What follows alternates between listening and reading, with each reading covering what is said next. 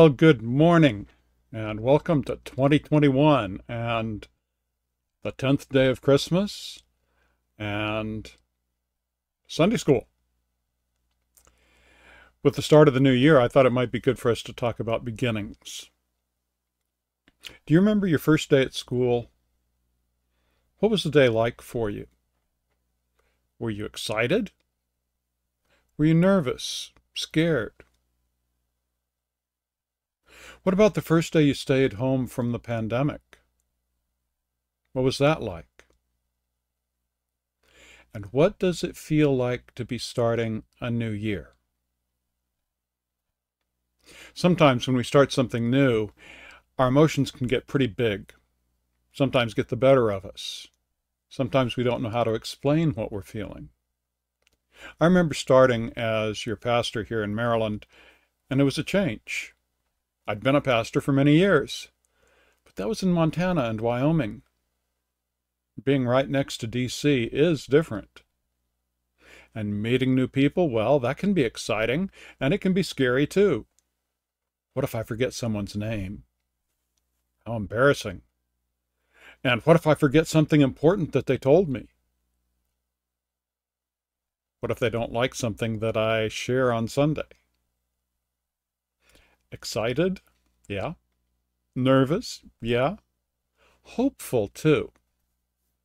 I bet you're hopeful, too. I was glad to be able to be a pastor again after a short time working with family, and I was hopeful that I could help people here, that we could grow together. Do you have a Bible? I hope you do. And how about a pencil and maybe a notebook or some paper? I'd like for you to get these and um, go ahead and stop the video while you do that. I'll I'll still be here. I mean, it's a video. Where am I going to go? Go ahead and get your Bible and some something to write on and something to write with, and come on back. So now that you have them, open up your Bible to the New Testament. Do you know where that is? I hope you do. Here's one of my Bibles. And normally, if you go to about the back third of your Bible, you'll find the New Testament. Wow, look at that. Fireworks are showing right through. Hmm. Funny how that works. But if you go to the back third, you'll find the New Testament section. And if you go to the fourth book in the New Testament, that's the Gospel of John. I'd like for you to go there and the first chapter of the book. Now, if you're having trouble finding it, if you go to the front of your Bible, way up here in the front, you should find a table of contents. And it will tell you the page number to go to. And again, if you're having trouble finding it, go ahead and pause the video. I'll still be here. And when you found the Gospel of John, come on back.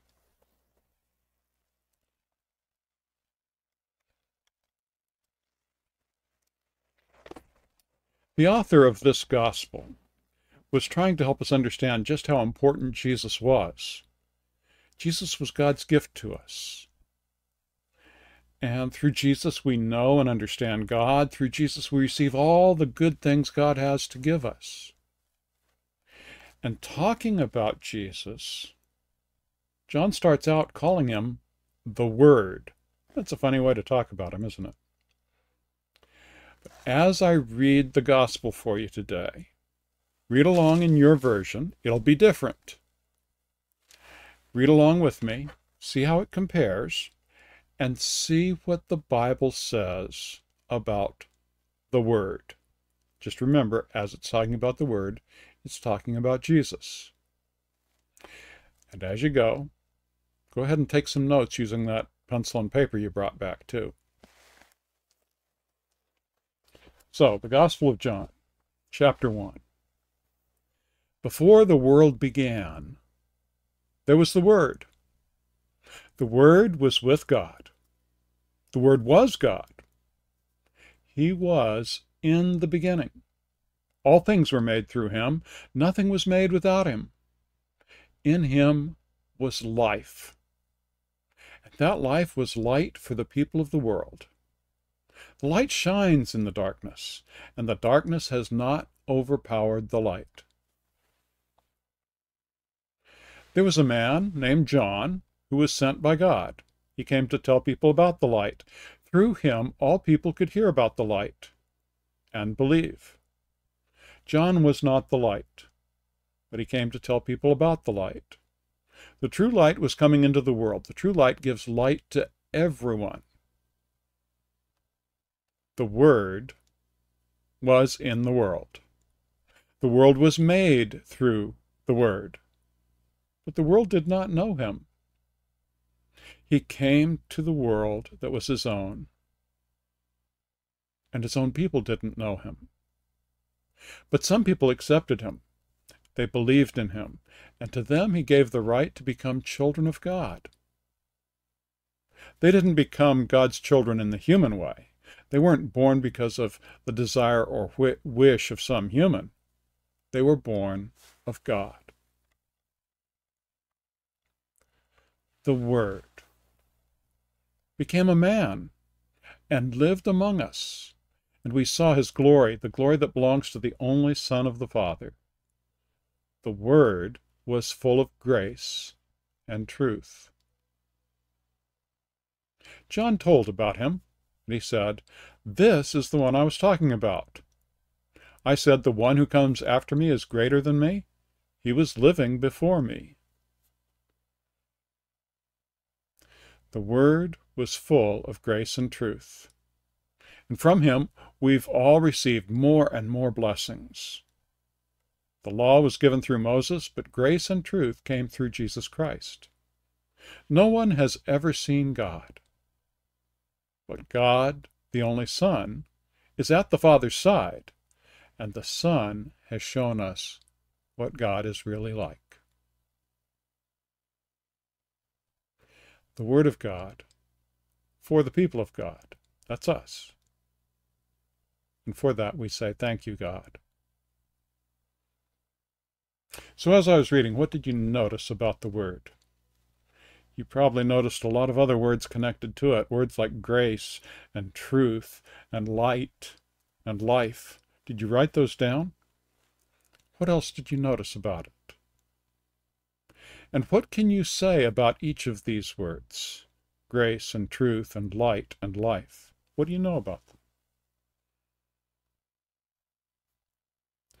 And did you notice that the Word was always with God, even before the Word came to live with us? That means that grace and truth and light all began before Jesus was born. It started in the very beginning with God the beginning, the very first beginning. And a new beginning happened when Jesus was born. And now, with 2021, we have another new beginning. What are some of your hopes for this year? On that piece of paper, write some of them down. Some of your hopes for this year. Now, nobody likes shots. I know that. But I bet you're hoping for the vaccine, aren't you? And you're probably hoping to get back to school again. And I suspect you'd like to be able to visit with friends and family more this year. I think these are some of your hopes. What other hopes do you have? Write them down. And there might be some things that you hope continue. What has happened this past year different than previously, but you'd like to see it continue? Write that down too. And then send me a note. And I'm going to pray for you that some of your hopes will happen.